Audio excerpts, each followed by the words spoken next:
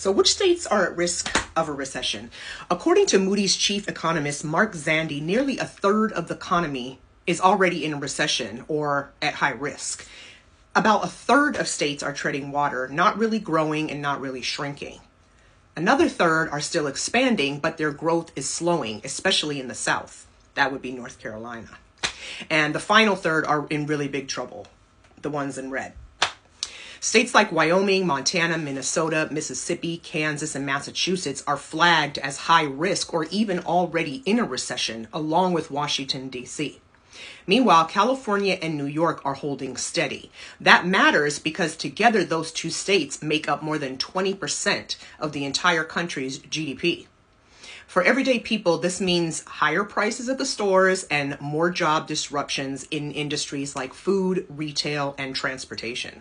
So the bottom line is one third of the economy is stressed.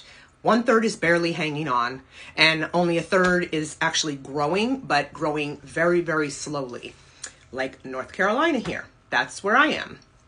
And it's definitely slowed down. Apple was supposed to be here building. Amazon was supposed to be here building. Um, all these big tech companies are supposed to be here building, and they are, but they are slowing down. Like they've put their plans on hold for probably another two years, maybe three years. I don't know. Maybe they're waiting for the administration to leave. I don't know.